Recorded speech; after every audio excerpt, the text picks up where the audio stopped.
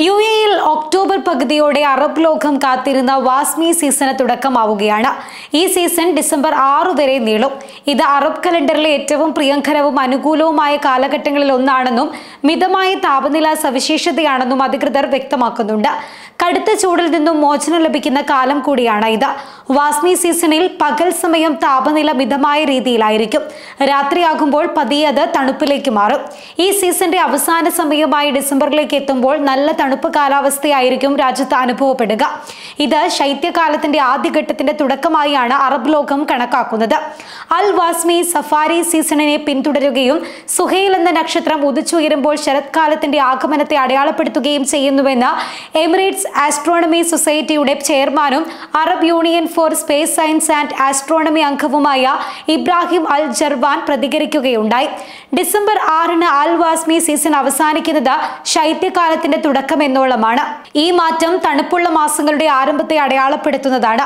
ശൈത്യകാലത്തിന്റെ ആദ്യ ലക്ഷണങ്ങളിൽ ഒന്നുകൂടിയാണ് ഇത്. ഇതോടെ രാജ്യത്തെ പൊതുവെ തണുത്ത കാലാവസ്ഥയായിരിക്കും അനുഭവപ്പെടുക. പകൽ സമയത്ത് മുപ്പത് ഡിഗ്രി സെൽഷ്യസ് മുതൽ മുപ്പത്തിനാല് ഡിഗ്രി സെൽഷ്യസ് വരെയും രാത്രിയിൽ പന്ത്രണ്ട് ഡിഗ്രി സെൽഷ്യസ് മുതൽ പതിനെട്ട് ഡിഗ്രി സെൽഷ്യസ് വരെയും താപനില താഴുന്നതിനാൽ ഈ സീസൺ കൃഷിക്ക് പ്രയോജനകരമാണ്. മാത്രമല്ല അൽവാസ്മി കാലത്ത് പെയ്യുന്ന മഴ ഭൂമിക്ക് ഗുണകരമാണ്. കുറഞ്ഞ ബാഷ്പീകരണ നിരക്ക് ഭൂഗർഭ ജലശേഖരം നിറയ്ക്കാൻ സഹായിക്കുന്നതാണ് ഇതിന് കാരണം. അൽ വാസ്മിയുടെ ആരംഭം നിർണയിക്കാൻ ഗോത്രവർഗമായ ബന്ധുക്കൾ പരമ്പരാഗതമായി തെക്കൻ ചക്രവാളത്തിന് മുകളിൽ സുഹൈലിന്റെയും സിറിയസിന്റെയും വിന്യാസം നിരീക്ഷിക്കാറുണ്ട്.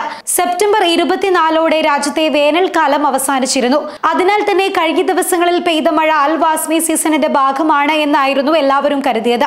അതേസമയം യു എയുടെ വിവിധ പ്രദേശങ്ങളിൽ മഴയ്ക്ക് സാധ്യതയുണ്ടെന്ന് ദേശീയ കാലാവസ്ഥാ നിരീക്ഷണ കേന്ദ്രം അറിയിച്ചിട്ടുണ്ട്. രാത്രിയിലും തിങ്കളാഴ്ച പുലർച്ചെയുമായി തീരപ്രദേശങ്ങളിലും ഉൾപ്രദേശങ്ങളിലും ഈർപ്പം വർദ്ധിക്കുമെന്നും തീരപ്രദേശങ്ങളിൽ തൊണ്ണൂറ് ശതമാനം വരെ ഈർപ്പം ഉയരാൻ സാധ്യതയുണ്ടെന്നും പർവത മേഖലകളിൽ ഇത് പതിനഞ്ച് ശതമാനത്തിൽ താഴെയായിരിക്കുമെന്നും അധികൃതർ അറിയിച്ചിട്ടുണ്ട്. കാറ്റിന്റെ തീവ്രത കുറവായിരിക്കും. എന്നാൽ ചില സമയങ്ങളിൽ കാറ്റിന്റെ വേഗം വർദ്ധിച്ചേക്കാം. അറേബ്യൻ ഉൾക്കടലും ഒമാൻ കടലും നേരിയ തിരമാലകളോടെയായിരിക്കും കാണാൻ സാധിക്കുക.